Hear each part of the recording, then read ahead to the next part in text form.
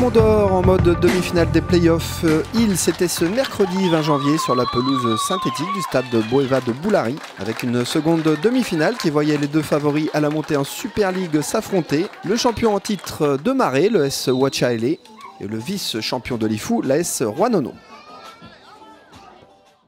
Malgré une tentative de loin, Roanono va très vite subir la fougue des Maréens de leur capitaine Henri Chaouine, l'ancien international le tahitien originaire de Marais, véritable régulateur du jeu des Maréens. Wachaele qui aura clairement dominé cette première période, profitant d'un bloc haut et compact et d'un pressing cohérent, avec plusieurs occasions à la clé.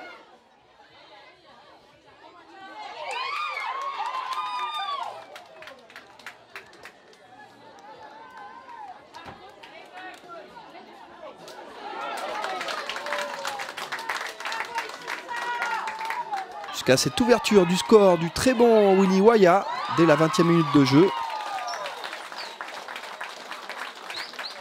Un but qui vient récompenser une première demi-heure de jeu maîtrisée par les hommes de l'entraîneur Michel Nemia.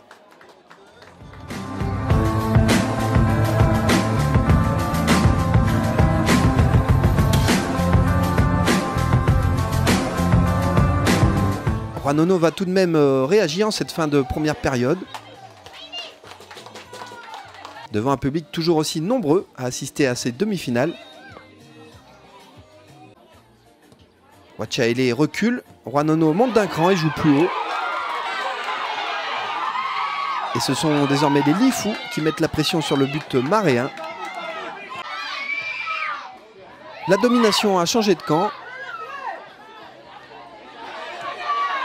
Et à la 63e minute de jeu, les hommes de Bruno Siman vont finalement se voir récompensés de leur belle réaction. Le coup franc excentré de Raymond Outemek est parfaitement tiré. Michel Neilolo s'envole plus haut que tout le monde.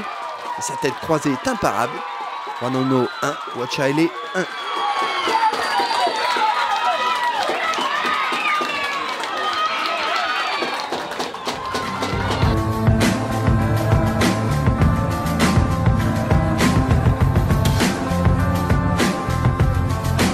Formation maréenne est alors à la peine physiquement et semble avoir laissé passer sa chance.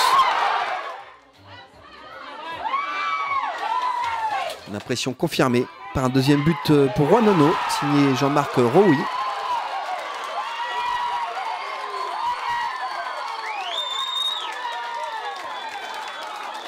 Roui qui envoie l'équipe de Tchéou en finale des intérims.